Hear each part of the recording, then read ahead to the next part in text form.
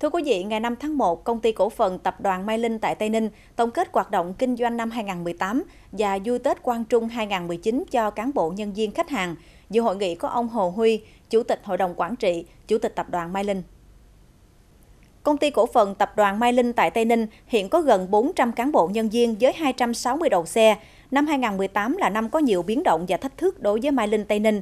Tuy nhiên, đơn vị vẫn đạt và vượt chỉ tiêu kế hoạch đề ra như doanh thu thuần về bán hàng và cung cấp dịch vụ đạt 104,69% so với kế hoạch.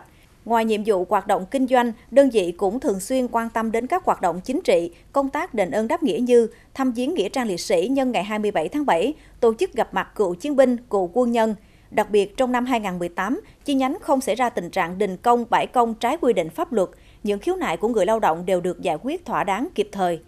Nhân dịp này, Sở Giao thông Vận tải Tây Ninh đã khen thưởng cho hai nhân viên lái xe có thành tích xuất sắc trong năm 2018 công ty cổ phần tập đoàn Mai Linh tại Tây Ninh khen thưởng cho 17 cán bộ nhân viên đạt danh hiệu lao động giỏi và 41 cán bộ nhân viên đạt lao động tiên tiến trong hoạt động sản xuất kinh doanh năm 2018.